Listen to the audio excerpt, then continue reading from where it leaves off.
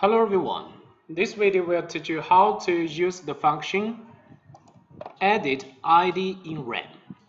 This function is very helpful when the hard drive are running very slowly and there are many LBA errors reported within the COM terminal. Now, when the drive gets ready, we go to menu RAM operations.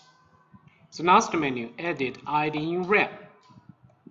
So in many cases, we can find out the media cache is ticked. So we need to untick the media cache and we keep these three. Disable, disable vacant active and click modify. So after this one, don't power off and we can go to the logical scan directly and then we can check the data area and we can see the drive will running smoothly. Before we doing this one, the drive was running very slowly.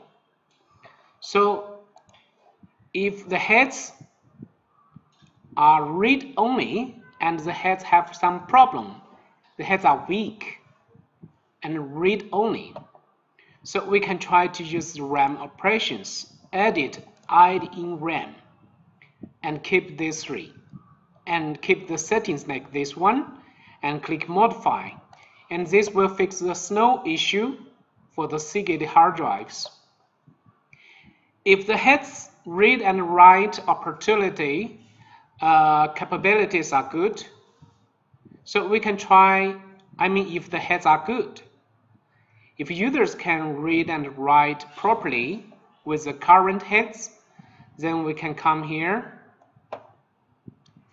initial ID by ATA mode.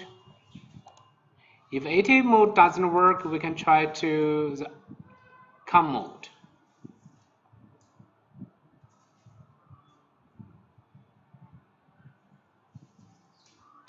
Now we can see uh, we keep the settings like this one and this will also help to fix the snow issue.